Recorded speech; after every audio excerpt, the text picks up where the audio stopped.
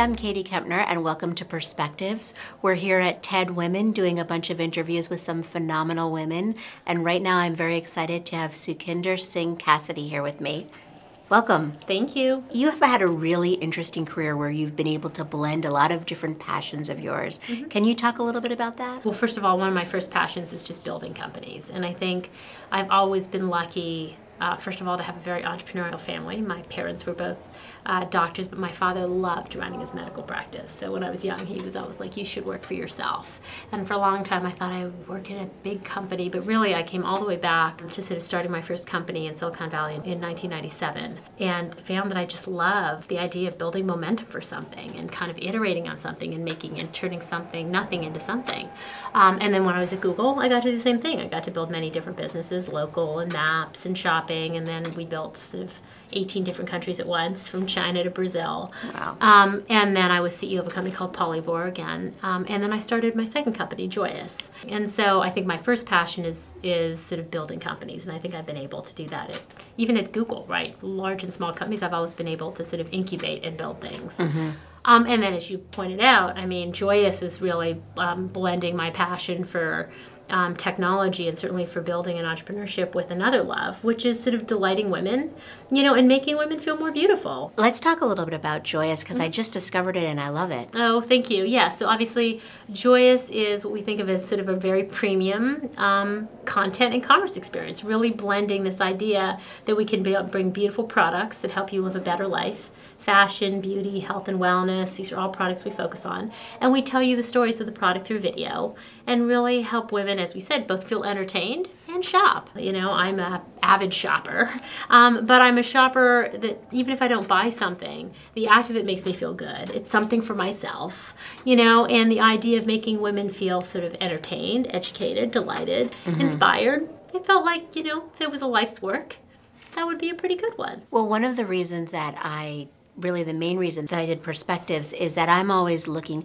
at a different angle of trying to help women live mm-hmm. beautifully, mm-hmm. which is tr- trying to help them figure out how to live a balanced life. And mm-hmm. some women hate the word balance, I've mm-hmm. found. Mm-hmm. Um, I sort of aspire to it. I like that word. To me, it mm-hmm. feels very peaceful. But it's all about finding a way to live where all the different aspects of your life are working together. You have a family, you have children, you have a huge career. How do you balance everything and live your own version of living beautifully? Yeah, you know, it's a great question. So first of all, um, I'll say so. I'm terrible at balance. If you were to measure it on a day or a month, and I say that because I'm somebody who believes that to be great at anything, you have to give it your all, including work, right? Mm-hmm. And at a certain level of responsibility, the sacrifices that you need to make just increase, and that doesn't go away. There's only so many hours in a day.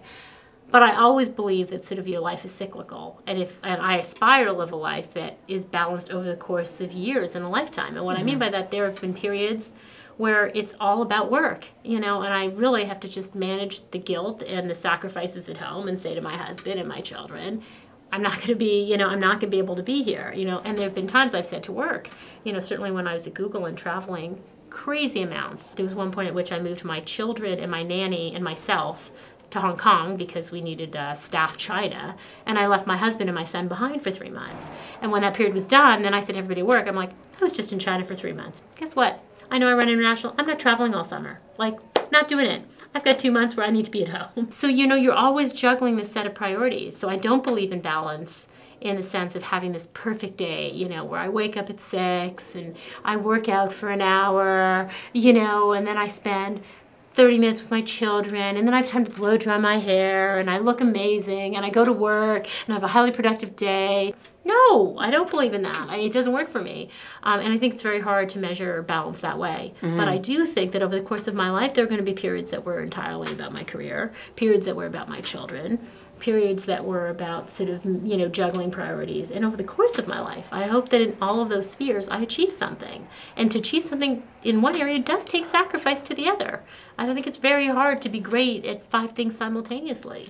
That's a terrific way of looking at it. And of all the people I've interviewed, that's the first time I heard it said quite like that. But I think that's really insightful that not necessarily every moment of the day, mm-hmm. but an overall balance is. Yeah. is... And, and, just, and, but I think you're always negotiating. Yeah. You know, I think you're always you're always disappointing someone. This is what I've learned. I say that women have to be very good at managing guilt and giving yourself a break. How do you keep that guilt at bay?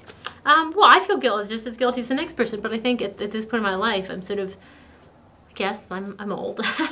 I kind of Hey, just we just found out we're the same Yeah, age. Don't say that. But um, I guess I'm just sort of at peace with the fact that I'm not perfect, and um, and I'm lucky that I have great infrastructure and support. My husband, my nanny, great employees. Um, but you know, I, I guess it's not that I keep it at bay. I guess I just you know I feel guilty, and I realize that that's natural. Mm-hmm. Um, and at this point, I kind of just think I can do the best I could do, and maybe I'm just more comfortable with being vastly imperfect at you know at 43 than I was at 23. Which I think is a good thing, Yeah, actually. Yeah, exactly. I mean, you just you do the best you can, right? Yeah. you- So I started following you on Twitter today, and I noticed that in your little profile, Uh-huh. Yeah. you say that one of the things you're passionate about is helping women succeed. Mm-hmm. Can you talk a little bit about that? Yeah, sure. So first of all, of course, I actually believe Joyus is part of that. I mean, when I think about Joyus's alignment with my kind of personal mission, I think helping women feel beautiful, live beautifully inside and out. I actually think that is my contribution in some ways to helping women feel successful. But of course, aside from Joyus, I try and give back time into the technology community, into the leadership community, into the entrepreneurship community. Um, you know, I certainly uh, work with organizations like Women 2.0. But you know, when I think about where I want to mentor or spend my time, certainly I'm an investor in a lot of women-led startups. You know, because I feel like if I can give back to women it is it is more meaningful for me in mm-hmm. the sense that I understand how hard it is to make it all work. I mean, there is no doubt that women have a lot more on their plate to juggle Yeah. at this stage than men do, you know? And and that's not imposed by men by anyone. I mean, I want to be a great mother not because my husband tells me to, but because, you know, I feel that way, right? Yeah. So it's not an imposition, you know, it's who we are. We're these jugglers and multitaskers. And if I can understand that uniquely and share kind of my perspectives or whatever energy I have with other women, it's just personally fulfilling. So, for women that are starting companies, do you think it's important to have a plan to sort of say, okay, I want to do things this way? Mm-hmm. Or do you think, you know, I want to have my kids now or I want to plan this out? I was reading that book, Wonder Woman. Have you read that book? Mm-hmm. I haven't yet yet. and it, and it talks about you know really f- trying to figure out a plan for yourself or do you think that's not really so realistic and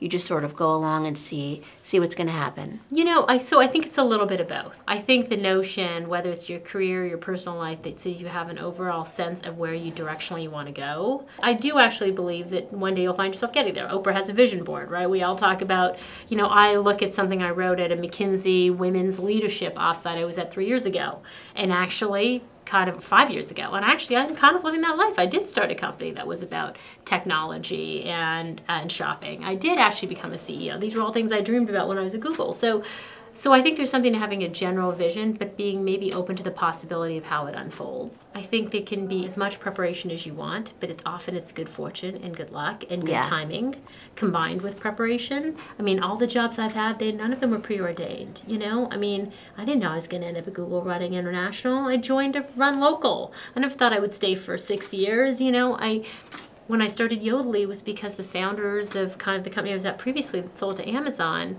thought I did a good job and became investors in a new company and had four engineers looking for a business partner. I didn't know that my opportunity to start the first company would be a financial software company with four engineers. I mean, who knew, right? And then on the whole kind of having children and when to have children, all those things. I mean, you know, I'm. I mean, Sheryl Sheryl Sandberg's a good friend, and uh, we were colleagues at Google, and I did, I'm definitely the school of thought that Sheryl is too. You don't know when you're going to have children, you know, so don't put your career on hold. I mean, trust me, it's not like I was staving off men when I was 30, saying like, I just can't get married to you because you know what, my career is too wonderful. I didn't meet you know my husband till I was 33, and I got married at 34. But the advantage is, you know, I wasn't hanging around waiting for that to happen. I was just doing my thing. Mm-hmm. You know, and by the time I had children, I was in a position of relative power at Google. And that let me negotiate my choices. It let me say to my boss and Eric Schmidt, hey, I'd like my nanny and my daughter to travel around with me on your dime, you know, as I kind of run this half of the world. what about somebody who isn't as successful as you and they're not negotiating with eric schmidt on whether Mm-hmm. they can bring their kids certain places should they be able to feel empowered to ask for things too Absolutely. I mean, I, I would say that, trust me, I mean, it's not about if you're negotiating with somebody powerful or not. I think it's about owning your own sense of power, right? And I would just say to you that your ability to negotiate professionally increases with your value to an organization. Mm-hmm. I mean, and that's quite frankly just straight up business. So I guess my point is yes, I think you have the ability to negotiate whatever your level. But I think negotiation comes first from a great contribution, Mm-hmm. from a recognition of your worth, and from, uh, quite frankly, doing great work. And you've got to put yourself in the position where people want to make you happy, you know? Yeah. And you need to ask for what you need in order for you to be happy, for sure. Yeah, no, that's a great point. So I just want to end sort of building on that, Sure. which, which is for somebody who's starting out Mm-hmm. or looking to change careers or somewhere in their career, what is one piece of advice that has helped guide you that you Mm-hmm. could share with us? I think the advice I sometimes give younger people, men or women, is you know, I know it doesn't seem that way, but you've got to trust it all works out, which is a crazy thing to say. Um, but I sort of say anchor yourself in the early parts of your career. Almost forget about industry, forget about even the role. Anchor yourself in doing kind of a great body of work for somebody great. And it almost doesn't matter what you do, you're going to end up progressing. But number two, you actually want to work for people who can teach you something, right? And when you do great work for great people, they pull you along for the ride. Trust me, you know, and opportunities start to unfold um, ahead of you, right? So my biggest advice is you got to trust it's all going to work out, and your mantra's got to be like, how do I surround myself with people who are amazing that I can learn from? and how do I put myself in a position to contribute greatly to them, mm-hmm. you know, or to their work, right? How do I do great work for great people? And I generally think, you know, if you kind of use that litmus test in the early part of your career, it doesn't matter if you start in sales or finance, doesn't matter if you start a big company or a small company, you're going to make progress. That's great advice. Thank you. All right. Thanks for spending time with us here at TED Women.